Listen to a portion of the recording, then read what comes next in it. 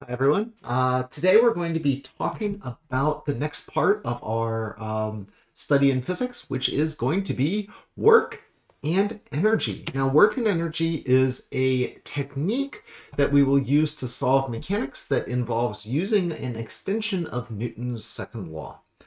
The key to understanding work and energy, and I'm going to start this out in the preface, is that everything in work and energy needs to define the system. And the system here is referring to uh, the uh, a system is really defined by its boundary.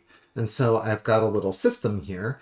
And when we're discussing work, we're really talking about forces acting on a system from an environment. So everything outside a system is a environment and everything inside the system here this gumdrop and a, a little uh, rope uh, on it that is a something that's inside the system and the earth is inside the system as well. So i'm going to have to be very careful about when i talk about work and energy describing what forces are inside the system and what forces are outside the system.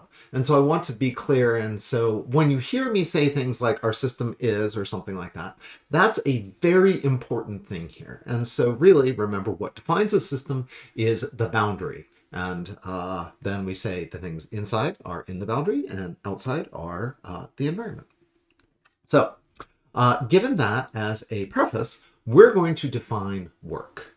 Now, work is the product uh, of the force acting on a system with the displacement that that system is moved. And the only part of the force acting in the same direction that the uh, system moves is going to contribute to the work. So if we imagine the case where we have a finger pressing on a book and sliding it horizontally across the table, shown here by the displacement, and this force F, only the horizontal component of the force actually contributes to the work. The vertical component doesn't move the book in that direction, and therefore it does not do any work. If I push on something and the object doesn't move, no work is done on the system, which is a little counterintuitive given we think of work like working out and stuff like that. And that's the kind of thing where you can have a lot of uh, energy expended, uh, but you're not actually moving things about very much. So mathematically, we phrase this as uh, the work done is the force times the displacement times the cosine of the angle between the two vectors. So it's the component of the force in the direction of the displacement or uh, the component of the displacement that is projected along the force vector. So if I have this little block and it's pulled to the right by a force that's pointed up in this direction, we take the f cos theta component and then we have our uh, displacement in that direction, and that's how we define work. Uh, the energy of a system uh, uh, is changed by work. Uh, work is uh, uh, basically, or rather, energy is really just kind of reductively described as the ability of a system to do work, namely to move an object through some distance. And energy, this concept, in, we'll explore in so much detail over the next three or four weeks uh, is going to be one of the most powerful tools that we have for studying physics. Full stop. The concept of energy. But it derives fundamentally from Newton's second law. And uh, the unit of energy that we'll be working with is called a joule. Uh, so it is a force, Newton, move through a distance, meter, and so that's one joule, which is the SI unit of uh, energy, and it's really just a compound uh, unit of the kilogram meter squared per second squared. Um, you're probably more familiar with the unit of energy uh, that's called a uh, calorie. Uh, that's the imperial unit of work, and one calorie is 4.184 joules. And you sort of think about food energy. Uh, if you look at a nutrition label here in the great nation of Canada, you will see that it is listed, it is listed in um, the energy is given in calories. But secretly, that is not calories, but that's kilocalories. So when you see something that's calorie and you're like, oh, this barely has anything energy in at all, it's really a kilocalorie. But if you go ahead and look at a nutrition label in a uh, country that is fully subscribed to the metric system, like the UK, you'll see that the food energy is actually listed in terms of kilojoules uh, and kilocalories here. So it's an equivalent of uh, the two cases, and they are proper with their metric prefixes in Britain. I would expect nothing less, uh, plus a bunch of other things that are uh, exciting. But the energy uh, in food is in uh, calories or in joules if you are in a sensible system of units. So the general thinking of how work relates to energy is that positive work that is done on the system by the environment will increase that system's energy. And positive work done by the system on the environment will decrease that system's energy.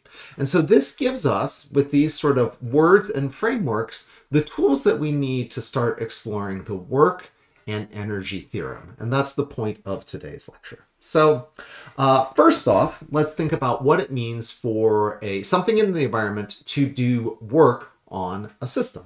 So in this case, I'm going to say that the system is my block here. I'm going to have an external force that is the force F, and it's going to move it through some displacement.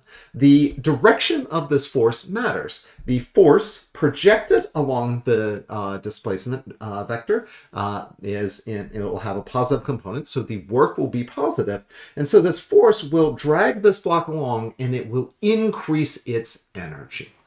In contrast, if this object is in a, undergoing a displacement uh, to the right here, uh, and the direction of the work uh, vector or the force vector is pointing backwards with respect to the displacement, or it has a negative component in the x direction, then it's going to do negative work on the system. And this uh, negative work is going to take energy out of the system.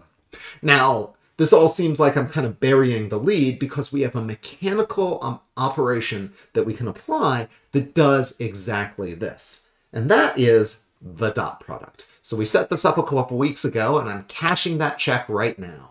Uh, so the displacements and forces are vectors, and so we use the dot product to define the work. It is the force dotted with the displacement. And you'll remember that the uh, dot product is the magnitude of vector A, B times the cosine of the angle between them, uh, or the product of the three components here.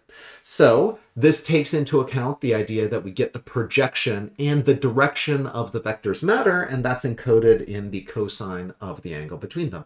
So the dot product is exactly what we want to use to calculate the um, uh, work done by a system and then how it changes the energy. Okay, so this is all preamble. Let's talk about some actual physics uh, scenarios. Uh, this is an example courtesy of the illustrious Dr. Kaminsky, who let me um, know that uh, sometimes we have to pull a crate across a horizontal floor with a constant speed. Uh, it moves through a distance delta x, that's shown here. Uh, it's using a rope which is making an angle theta with respect to the horizontal. Um, now, for the speed to be constant, the system has to be in equilibrium. There is no net acceleration, therefore the system is in equilibrium, so there must be a friction force opposing uh, the applied force, and we're going to give it a kinetic friction mu sub k, and we're going to just do some algebra here and use these variables to figure out uh, the object, uh, the uh, object uh, properties here. And so uh, Dr. Kaminsky has let us have several questions here all at once. Um, so let's start out by asking, how large is f in order for the speed to be constant? Well, oops, let's, let's put pen to paper. Uh, I have a free body diagram here. so I have a force, I have the normal force. It's already illustrated over here, but I like to actually have a proper free body diagram. Uh, we have mg, and that's about that. And then I need to have an equilibrium of forces. So I know that the sum of the forces in the x direction uh, where I will set up x and y, has to be 0 because it's in equilibrium. And then that's going to be f cos theta acting in the positive direction. So that's this component here, uh, minus the friction force, and we'll use our standard force model as mu k times the normal force there. Uh, the sum of the forces in the y direction, there's uh, three forces we have to deal with. Uh, the normal force points up, the vertical component of the force uh, that's pulling it uh, points up, and then mg points down, and that's also equal to zero because it's in equilibrium. So at this point, we can solve the bottom equation for the normal force and substitute it into the x equation. So I'm going to find the normal force from f of y, sum of the forces in the y direction, gives us that the normal force is mg minus f sine theta. And then the uh, sum of then the um, x forces, sum of the forces in the x direction, is going to give us that f cos theta uh, minus mu sub k times mg minus f sine theta equals zero. I'm going to collect all the terms with an f in them because I've got to do some algebra.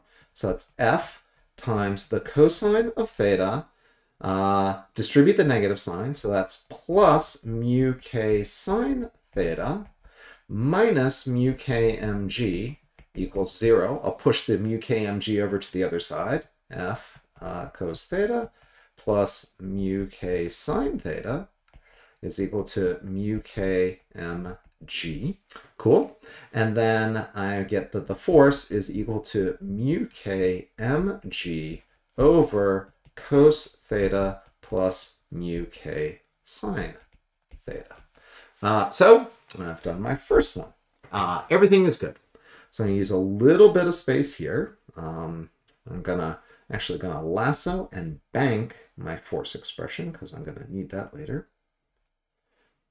Copy that but don't do anything yet. So now I want to calculate the work done by the applied force. Well, uh, the applied force has this magnitude F, but the only component that is done in the uh, displacement is in the uh, horizontal direction. So I can calculate F, oops, I can calculate F dot delta X as a vector is going to be F cos theta times delta X.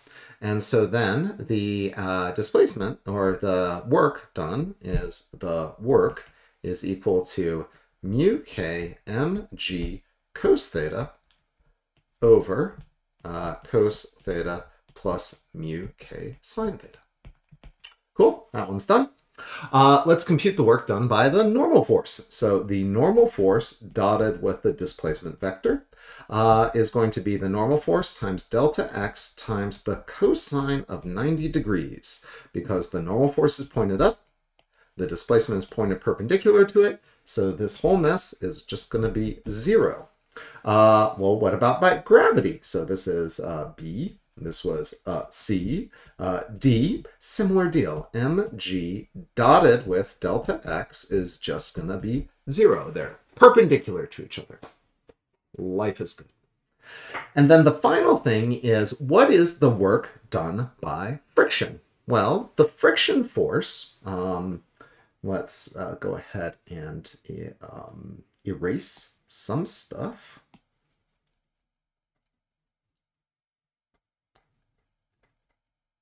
I'm going to need my results here. I'm going to need that paste. I want my force expression here. And um, from that, I, let's clean up this, this. So I get the force there. I also knew uh, from earlier that the uh, friction force has a uh, form that F cos theta minus mu k n equals zero, and this is the friction force, so mu k n is equal to F cos theta. In terms of magnitudes, I have my f and I have my cos theta here. And so, uh, sorry, I wrote mu kf because I was so excited to get over to the left-hand side of the equation, or the right-hand side, but it's mu kn is equal to F cos theta. And so the work done by friction is going to be uh, mu k n times delta x, which is equal to F cos theta uh, times delta x times the cosine of 180 degrees, because the angle between the displacement vector going this way and the friction going this way is 180 degrees, and the cosine of 180 is negative 1, so this is equal to negative f cos theta delta x. And then we want to know what is the total work done here. And so the total work that is uh, uh, done on the system is the work done by, everything is zero except for the work done by the applied force and the friction. So the total work, work total, is the work of the applied force, which was, for reference, F cos theta delta x, uh, plus, oops, the work done by friction. Let me uh, actually write this down uh, like this. It is the work done by the applied force plus the work done by friction is equal to F cos theta delta x minus F cos theta delta x, which is known in the business as zero. This is an interesting result. Uh, it shows that despite all of these forces acting on the system, we aren't changing its energy and that's because the forces are in equilibrium. So important thumb, uh, important uh, rule of thumb comes out of this, which is you can have lots of forces, but unless they are actually contributing positive work to the system, the energy will not change. Uh, we can do a similar thing as we start to think about this in uh, beyond kind of uh, two dimension or in uh, vector dimensions. Uh, we can just apply the um, the uh, dot product rules in unit vector form, uh, where we are given a loaded uh, shopping cart, don't know where shopping cart went, is rolling across a parking lot in a strong wind. Here's where it went. It went right there. Shopping cart.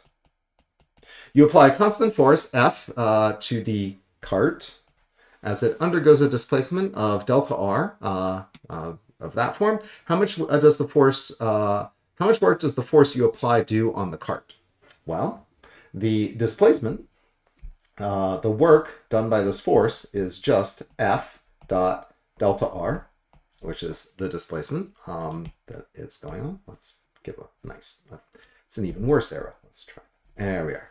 And then uh, we just use dot product in uh, unit vector notation. So 40J uh, newtons dotted with 9i minus 3j meters, and that's equal to 30 times 9 is 270 minus 40 times 3 minus 120. Oop, minus minus is plus uh, Newton meters. And I add those together, and I get that that's 390 Newton meters or joules. So this work does this uh, force, uh, or this, uh, yeah, this work, this force does work on the cart, and it would uh, put 390 joules of energy into the system if it were the only force acting or doing work on the cart. Uh, is this the only force acting on the cart? Well, no, there's probably a normal force in gravity, but I also want to note that there has to be another cart in the, uh, another force in the ij plane uh, because I have a um, sort of coordinate system that looks like this. If this is in the x and then the y direction, uh, this force here is 30i minus 40j. It's kind of going down here. This is the applied force. And then the displacement is 9i minus, uh, 3j. And so 9i uh, goes out here, minus 3j goes off in this direction. And so this is the total displacement. And uh, since the force is acting on uh, it, and it's not at 90 degrees or pointing along it, there has to be another force that's producing this displacement uh, and sort of pulling it off in this direction. Otherwise, it would be accelerated over in uh, that direction, uh, given what we know in the problem. Okay, Uh, the next thing we want to talk about is what happens if your force is uh, actually uh, varying uh, with uh, varying with a position. So thus far, we have only dealt with constant forces, and uh, but you know we can think about forces, or you can think about forces and works in terms of the areas under a curve. And if we have a variable force, we can think about the force graphed as a function of position, and a constant force is just a value across here. So the work or uh, times the displacement is just the area in this space under the curve. And if the force is varying with position, then we have the mechanics uh, to actually calculate um, the we have the mechanics to start to calculate the area under the curve using calculus. But I just want to stress that our constant force definition, uh, we can just represent it in this graph and sort of, sort of say constant force as a function of position gives me the area under uh, the curve. And you probably know where this is going. If the force is acting in the negative direction with respect to the displacement, we represent that as the force uh, is negative direction in terms of displacement. It's a negative area under the curve. And so the distance that we have here and the distance that we have here are works. This one represents positive work. This one represents negative work.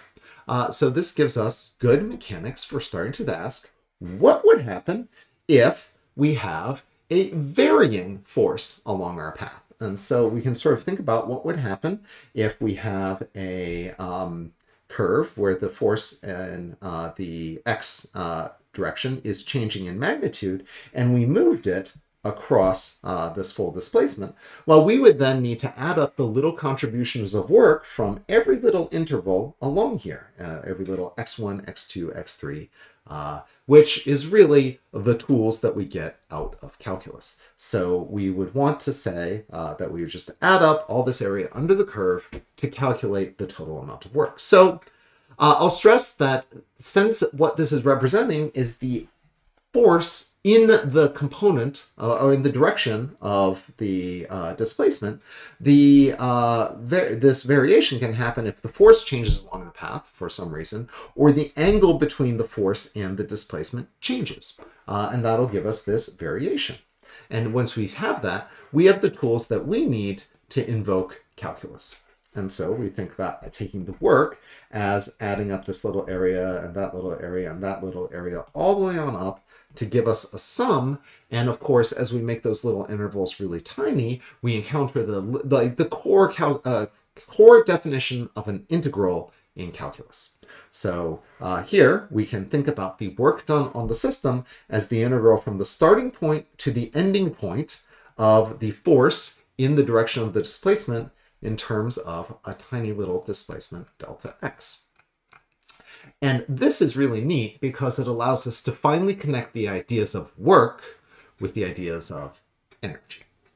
And to think about that in the integral sense, what we can finally do with this calculus definition of work is write down the work energy theorem, which allows us to relate our calculus definition of work to how a system's energy actually changes. So what we have is uh, I'm going to start out with F equals MA. So I have an F equals MA, and I'm going to integrate both sides of that equation from 0 to a displacement s uh, with respect to dx. And so 0 to s, that's it. So this is just a uh, spatial integration of Newton's second law.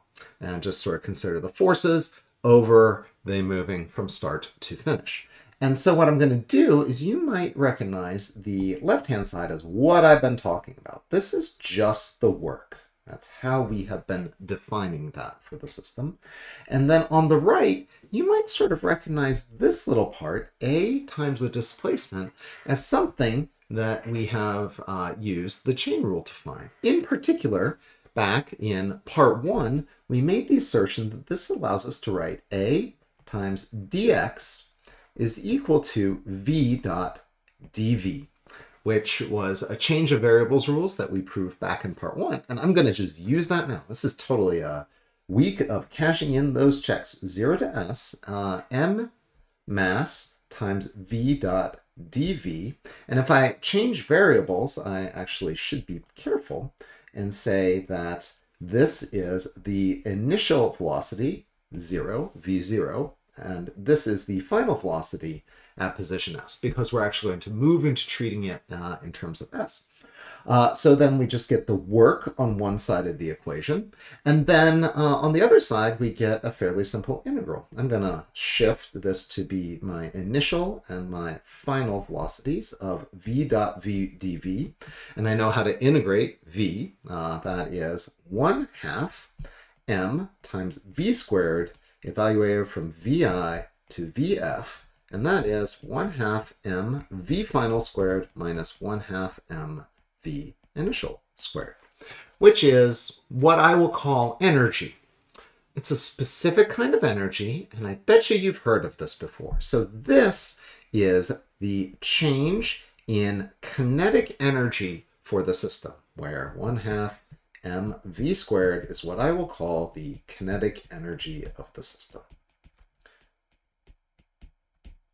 Something you know about. So this is has units of joules, has work, and so this really solidifies the perspective that we've been building, which is that the work changes the energy of the system, and for what we're talking about, it's really the kinetic energy of the system. Now, I just want to stress that this expansion also works in vectors along trajectories. And so we can use the idea that f.ds uh, has a vector component. I'm going to go along a path from 0 to s, and I'm going to do the same thing. 0 to s of ma uh, dotted with some differential vector, uh, ds. And so the ds we already have an uh, ex, uh, expression for, which is the velocity vector uh, over time. That's the displacement times time. And we've gone ahead and we know that that's equal to the speed of the particle times the unit vector in the tangent direction times dt. Now, I've used just n and t before, but I'm going to give a little variable. I'm going to note that u of t is what I would, in a less complicated situation, just call t. This is the tangent unit vector. And that tangent unit vector uh, is just, uh, I'm leaving it as uh, u sub t because we also have a time running around in the problem. And that's going to get mm, real nasty real quick if we just ignore it, uh, if we ignore it. Now, we know from dot products that f sub t, uh, uh, f, we're going to take f dot ds, so that's ft, oops, uh, ut hat plus the normal component times the normal vector, and I'm going to dot that with um, v times u of t hat dot dt. And when I do that, I just get the components in front of uh, this. So I get that this is 0 to s of f dot v uh, dt, um, or the uh, basically the tangent component, 0 to s, of f of t dot ds uh, along the path, which is the work. So in, critically, the normal component of the uh, force doesn't contribute because we only consider the contribution along the path.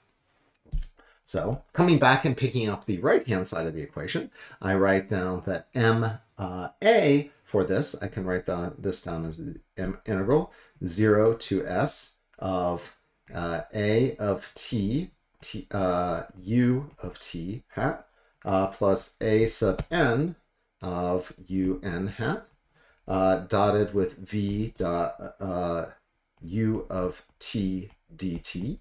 Uh, and this gives us the same expression where we get m integral and then I'm going to write the a of t as dv by dt, that's the change in speed of the system, uh, times v dot dt. And so uh, in change variables, we get back to m integral v dot dv, and that gives us our 1 half mv squared evaluated from the initial to the final speeds. And that's the change in kinetic energy. So the construction that we've set up by essentially arguing that the speed uh, is what's important uh, and what is changed by the tangential force, uh, it, it, so only the component of the force along the trajectory is what gives us the work energy theorem in 2, 3, 10 dimensions. Uh, so the math looks the same uh, because of the way that we've set up these normal tangential uh, components, and it just kind of, you know, falls into place. So it's really pretty amazing. So let's do a case of work energy theorem in high dimensions. So uh, another uh, case, the, the most common case we have for dealing with this is the case of a spring, which is why we introduced it a little early last uh, time. Uh, and now we actually have the magnitude of force is uh, a spring constant times a displacement, which varies. So it would vary over a path. You know, compress or shrink, you're going to have a different force at different uh, positions here. so I've written down the magnitude here, and I just want to stretch that, stress that the force is always the opposite direction of the spring's stretching or compression. And the answer is just put the right sign in given your free body diagram, uh, but it's opposite the displacement, um, or it's opposite the direction that your um, uh, spring moves relative to its equilibrium point. Uh, okay, so uh, in this case, we can think about what the force is acting on this block. So we imagine we have a spring here we take a block and we compress it from equilibrium. And so the free body diagram of the Hooke law force acting on it is in the opposite direction of the displacement. And so at that case, we can write down what the force is. Uh, so it's just F is equal to K, negative K, X minus X naught. The displacement's in the positive direction, so delta X. So we can imagine the work done by a spring force uh, geometrically in terms of our uh, area under the curve. And so we can think about this force going, uh, going becoming negative and uh, dropping down here as we go from x naught to x. And then we have an uh, idea that this is the area under the curve. And so we can figure out that this is x naught uh, to, or x to x naught is a displacement of s. And then we go to the height of the end, which is ks. And, you know, basically by geometry, you could argue that this area is a triangle. It's a half base times height. So the work must be equal to 1 half k uh, s squared, where s is the total displacement. Now, we I just want to stress that this also squares with treating our limits carefully in terms of the calculus, because it can calculate this here, uh, minus k x minus x naught uh, dx and actually execute this integral, and I better get an equivalent answer. So uh, if I do that, I'm just going to split this up. I'm going to say that this is the integral from x naught to x of minus kx dx, and then a negative negative becomes a plus kx naught dx from x naught dx. And then I'm going to actually execute this integral. So this is minus k. Integral of x is x squared. So it's going to be x squared over 2 evaluated from x naught to x uh, plus uh, kx naught. Integral of dx is just x integrated from x naught to x. Uh, I'll plug those in. I'll come on up here. And I get that this is equal to minus 1 half kx squared uh, minus a negative plus 1 half kx naught squared, cool, uh, plus kx naught x minus kx naught squared, which is evaluating the second terms here. And so this is uh, added in here. And uh, so what we can look at here is we see that this kx naught term adds together with this plus 1 half kx naught term here. And so then I get that this is minus 1 half k, and I'll pull this all out, x squared, um, pull out a negative sign, minus uh, 2 x naught x plus x naught squared, or minus 1 half k times x minus x naught quantity squared. And that uh, is uh, essentially the exact same thing as what happened up here. So I'm going to argue it's equivalent. We didn't get the same sign because I didn't take into account that this was under the curve. Uh, and then x minus x naught is what I'm calling s. So these are indeed equivalent. And I just wanted to show you that uh, the algebra of this works out if we treat this part carefully. And so this power, uh, the idea of power is to think about which of these two ramps is it easiest for us to put a little mass and push it on up the ramp? Is it easier to do it uh, from this shallow ramp or this slightly steeper ramp? Well, in both cases, uh, the amount of work that's required to push it up there against gravity is the same because they have the same height and therefore the work you have to put into them uh, only matters in the vertical direction. The, component along the horizontal uh, it, it ends up, you know, not mattering because it is frictionless. So the work ends up being the same, but you would obviously look at this and say, well, the uh, steeper ramp will be harder. And what that is, is encompassing the idea that you would do it over a shorter period of time. And so implicitly, you just sort of think about how much more force you'd have to push to lift it up there in a shorter tra uh, trajectory. And so that's where we get this idea of, you know, we just work alone in the physics sense isn't enough to explain a scenario. And instead, we introduce the idea of power, which is the rate at which energy is transformed or that work is done. And we consider the average power to be the work done over the uh, change over an interval of time that that force does some work. So we sort of think about this as uh, work over the time interval. And the time interval, uh, and so the time interval that we often standardize to is a second. And so we usually consider one joule per second is one watt and that has units of kilogram meter squared per second cube, just a compound unit. And if you look at power ratings of computer power supplies or light bulbs, often stamped right on top of them is their wattage, which is the electrical power draw that they uh, pull out of the wall uh, to give off uh, radiation in the case of uh, light. So, you know, stamped right there on the surface, how much work is how much energy is being drawn per unit time by that electrical device. Uh, and what's kind of interesting is that your power uh, bill can actually encompass a, um, uh, it, it, it, tells you how much energy you used.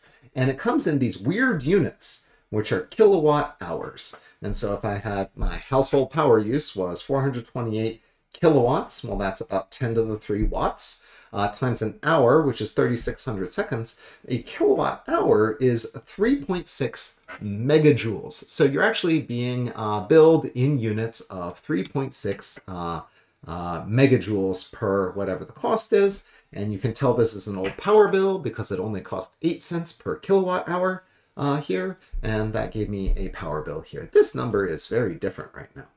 Uh, so it's kind of interesting if you think about this. I like to parameterize that a kilowatt hour is about 860 kilocalories, uh, which is uh, basically, I discovered the uh, energy in a Subway double meatball marinara.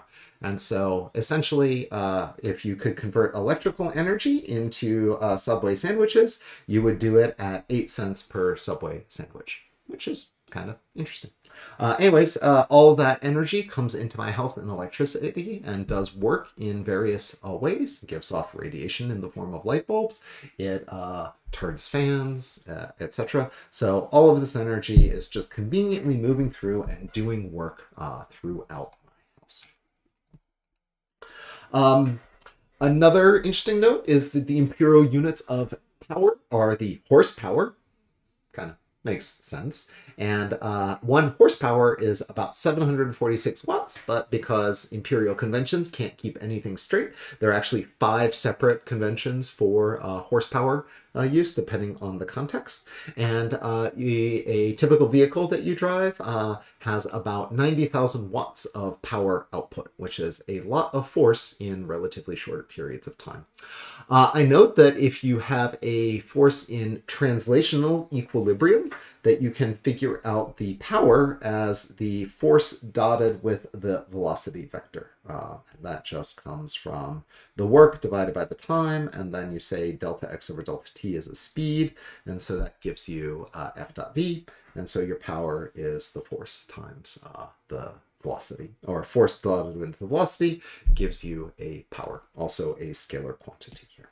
Okay, uh, brief aside about power, uh, the most important equation in power is usually this F dot V, such that it allows us to figure out uh, forces and speeds given input powers, or how much power is required to maintain a force, uh, an object in equilibrium moving at speed V.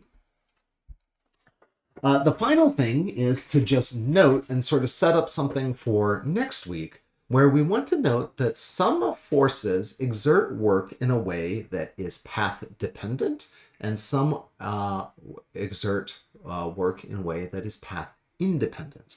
And what we do is we divide forces into two categories. One is path dependent, where it depends on how you get from point A to point B.